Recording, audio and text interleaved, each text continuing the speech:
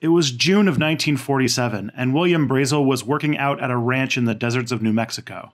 This was a weird time to live in the American Southwest. Only a few years ago, and surprisingly not far from William, the United States detonated its first atomic bombs. It seemed as if the world was moving all sorts of weird directions, and science had gone crazy. Then William saw debris. He and his son found scraps of rubber, paper, sticks, and what he described as tinfoil. He didn't think much of it and returned a few weeks later to gather up the remains. The next day, this mysterious debris took on a whole new gravity, as news reports suggested there were sightings of flying discs. He decided to report it, and what followed would be a strange tale of state secrets, conspiracy theories, and media hype run amok. Let's tell the real story of what happened at Roswell, New Mexico. Oh, and it wasn't aliens.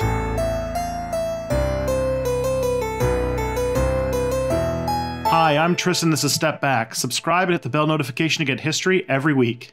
Even this week, which was. Oh boy. William reported the debris to the local sheriff, who passed it over to the major of the Roswell Army Airfield, a man named Jesse Marcel Jr. You see, the debris was part of a military balloon program, and the Army wanted to get a hold of whatever survived the crash. He sent an unnamed someone out of uniform to go check out the crash site with William and looked around for other small scraps left over, not finding much as the report goes. A couple days later, the public information officer at the airfield made a press release saying that they had recovered one of those flying discs from the news, assuming that these reports were, and they likely were, the balloons they had released. They were big balloons made of reflective material in the summer sun. Flying disc is not an inadequate description. Now, the Army made the first mistake to set off Roswell's infamous legacy. This was a radar balloon they were testing to study nuclear bomb tests. Because these projects were still weapons research and they didn't want information about atomic bomb testing to go public, they acted cagey and claimed it was a simple weather balloon. They thought the story would die there. And it did. For over three decades.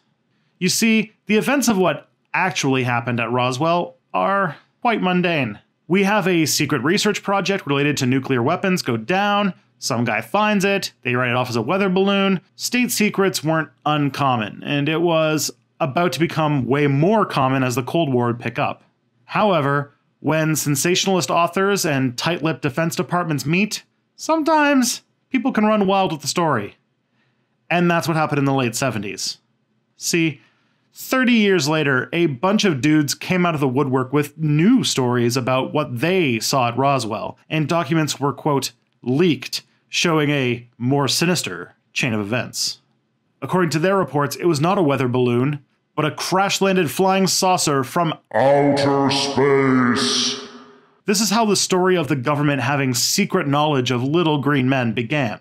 Over the next 20 years, numerous books and films came out telling this new story. It seemed the more money you could get selling stories of space aliens, the more people remembered seeing space aliens at Roswell. This fringe story became so popular, it started to become the new mainstream account of what happened there. This came to a head when in 1997 a poll showed it was what a majority of Americans believed happened. Even Marcel, the major at the airfield story, seemed to change as numerous authors and filmmakers tried to talk to him. They considered him credible, never mentioning his propensity for exaggerated tales, changing accounts, and multiple other false claims relating to his military service. But who cares? Aliens! The fiction became so massive and so convoluted that by the mid 90s there were two different space alien accounts of the Roswell incident. They held entire conferences debating who saw what, where, and what locations the crash could have happened. Because if there was a specific site, then someone might be able to do studies. That would make their story falsifiable, and we can't have that. So they concluded that they just don't know where the definitely real spaceship landed. The realness of the spacecraft and the aliens were, of course, never up for debate. Here's how a lot of new accounts came about. Hundreds of people were interviewed by ufologists for the many, many, many pieces of media made about Roswell, but a pitiful few were people who claimed to have seen these spaceships themselves. The vast majority of it was hearsay, something that happened to a friend of a friend of a friend. It doesn't eliminate something as evidence, since as historians we often have to work with whatever we can take, but there's a hierarchy of evidence, and the more removed something is from the event, the more skeptical you must be of the account. Of the over 300 testimonies gathered, only about 40 claim to have seen the debris, and of them, only about 20 could have reasonably done so. And of those 20, only 7 have gone full history channel and claimed it was space aliens. Oh, hey, before you continue, if you want to help Step Back but don't want to sign up for the monthly commitment of Patreon, go to paypal.me slash stepbackhistory and help a historian out. Okay, back to the show. So I realize now the 90s are turning into a distant memory, and a surprising number of my viewers don't have memories of this I'm going to go with eccentric decade. It was a weird time for alien stuff. Comfortable middle class white people didn't have a whole lot to worry about in the 90s, so interest in very serious subjects such as conspiracy theories, especially UFO ones, were popular. It's why The X Files was on the air for most of the decade. In 1995, an alien autopsy video supposedly leaked. There was a Fox TV special. I remember because I watched it. It starred Jonathan Frakes, so you knew it was legit. People ate this stuff up, and American citizens legitimately demanded answers from the government regarding the space aliens at Roswell. Never one to not give in to demands of the white middle class, Congress held a legitimate congressional inquiry into aliens.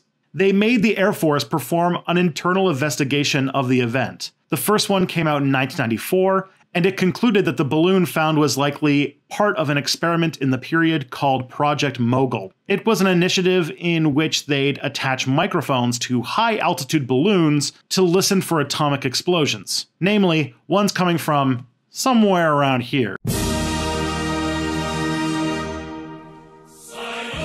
The second report in 1997 pointed out there were other stories afterwards of accidents in the area because this was also where the Army was testing out experimental aircraft. Some of these accidents involved casualties, and the news reported on those. So, memories likely got mixed up in the 30 years between the events at Roswell and when the UFO people got interested in it. They also tried out programs of high altitude paratroop dropping, and when testing it, they used dummies. Stories about that likely also joined the weirdness of living near Army experiments to create space alien narratives given what we know about memories since the 90s, this seemed to make sense. We can't be told to reliably remember anything with any amount of detail. However, this was no longer a search for the truth. It was now full atomic age mythology. UFO people dismiss these reports as obvious disinformation. Always remember the rule of ancient alien razor. The solution requiring the least amount of assumptions, that assumption being aliens, must be true. The credibility that, quote, science channels such as the History Channel gave to this stuff also boosted the conspiracy's credibility. Folklorists even study Roswell now as showing the process of how a culture develops myths. They call it Roswellian syndrome. As someone who used to be a researcher of myths, history, narrative, and whatnot, I found this interesting.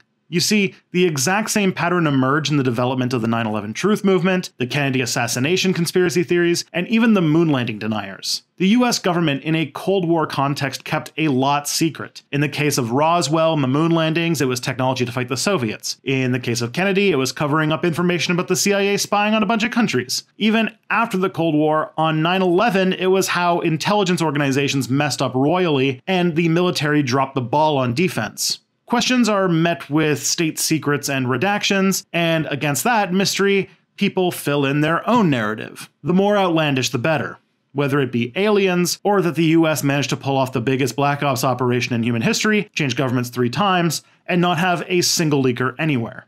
Oh, and to preempt the comments and tweets about me not mentioning it, Area 51 fits in the story as well.